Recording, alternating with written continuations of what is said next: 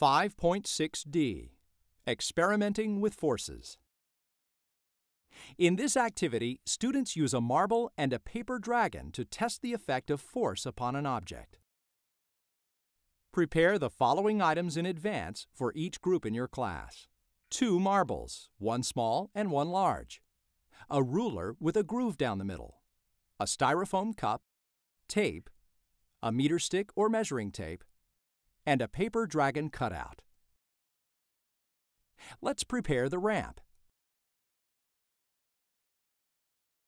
Take a styrofoam cup and turn it upside down.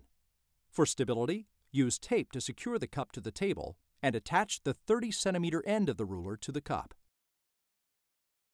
Place the dragon at the bottom of the ramp and mark the table where the fold lands.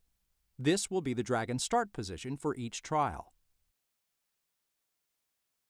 Use a meter stick to measure the distance traveled.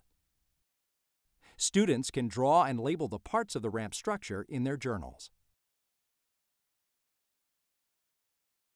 Trials by force. For the first trial, place the small marble on the ruler at the 4 centimeter mark and release it along the groove. The dragon should capture the marble and move straight back. Measure the distance. Perform a second trial and place the marble 4 centimeters higher than before. Again, measure how far the dragon moves back from the starting mark.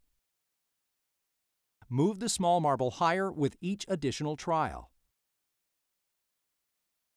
Now repeat the process using the large marble and record the distance.